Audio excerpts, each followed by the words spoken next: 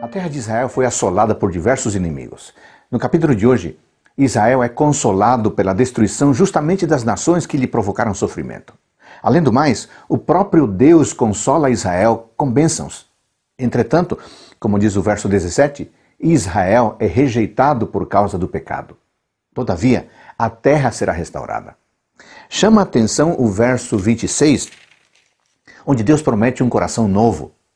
Este versículo é uma linda e alentadora promessa e apresenta o tema central do ensino de Ezequiel.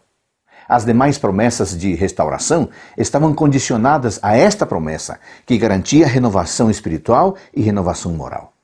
E como resultado desta renovação espiritual e moral, Deus afirma: Vós sereis o meu povo, e eu serei o vosso Deus. No final das contas, é isto que importa: termos ao Senhor como nosso Deus e sermos parte de seu povo aqui na terra. O conselho bíblico de hoje é o seguinte: aceite a Deus como Senhor, e Ele aceitará você como filha e como filho. Não é uma alegria termos um Pai tão amoroso, tão bondoso, tão justo e tão poderoso?